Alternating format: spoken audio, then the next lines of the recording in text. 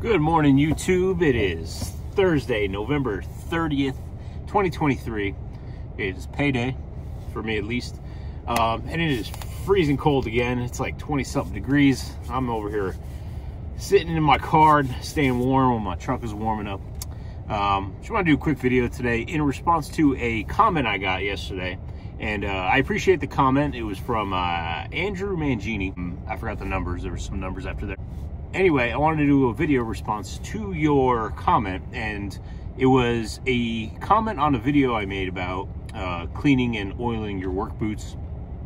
And he basically said uh, something along the lines of first thing uh, first thing you want to do is throw those boots you got in the trash and get some uh, some quality American made boots. Funny thing is, Andrew, those two pairs of Carhartts that I used in the video, the box said made in the USA, but you open them up and on the on the boot it says like made in Cambodia or made in Indonesia.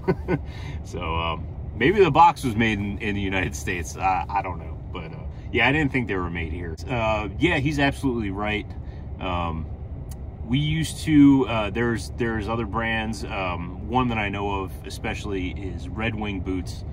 Um, I believe they are made in the USA. 100%. Their quality uh, stands by it. They're great boots. We, uh, our my, the company that I work for used to have a partnership with them, and we used to get, I believe it was 200 or 250 off per year, and we would be able to put those towards a pair of boots.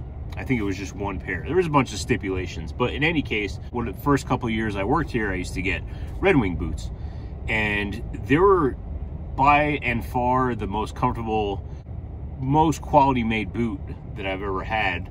But what I wasn't doing was I wasn't taking care of them like I showed you guys in the video. I would not clean them often and I would never oil them. And what they would do is they would break down in less than a year and it was basically because I wasn't taking care of them. Now, if I had, they would have been fine.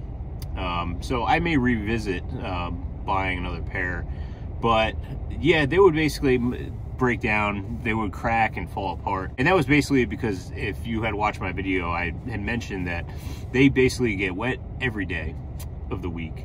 And you you need to let them properly dry. Now, if they're getting wet all the time, all the time, they're gonna they're just gonna break down. They're gonna lose their waterproofing uh, capabilities, um, and they're just gonna degrade um, pretty rapidly over time.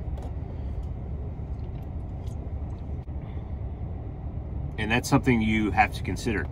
If um, if you get wet every day or if you're using chemicals and you know you get chemicals and soaps on them and stuff like that that also adds to the degradation process if you will but just yeah I, I basically had mentioned to him that I had basically gotten two pairs of those Carhartts for uh, around the same price that I would spend on one pair of the Red Wings that I had. I forgot the model, whatever it was, but they were basically close to 300 bucks for a pair of Red Wings.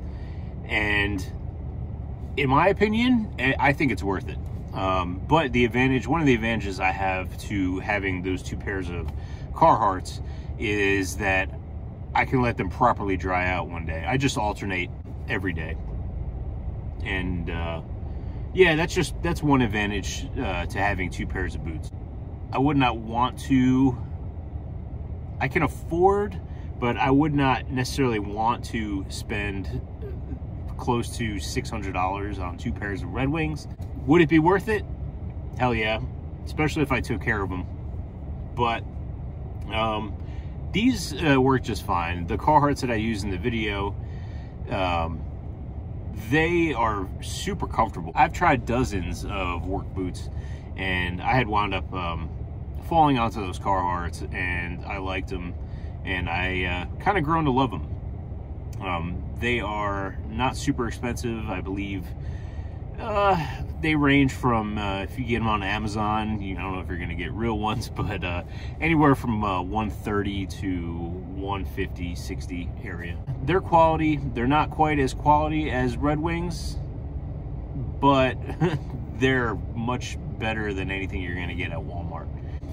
But yeah, in any case, that was my response to Andrew Mangini. Um, I thank you for the comment, and uh, and I agree with you wholeheartedly, and uh, I appreciate it.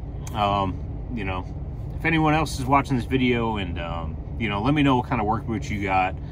You know, I'm always I'm always looking for something, you know, something new, and it's uh, it's a staple in my, um, you know, it's the most important tool that I use at work, and I do consider it a tool.